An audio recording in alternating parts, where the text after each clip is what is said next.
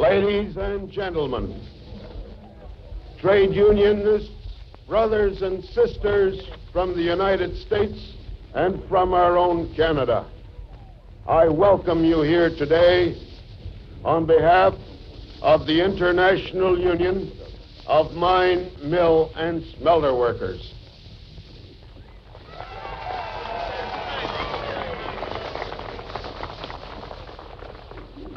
We meet here today to welcome the outstanding American and world citizen.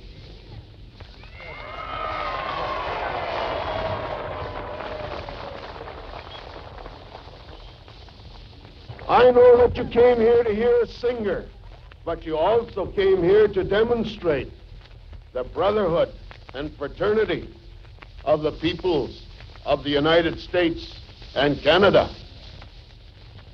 That we have a common mission in this world to march forward with the other peoples of this world for peace and security for all of us and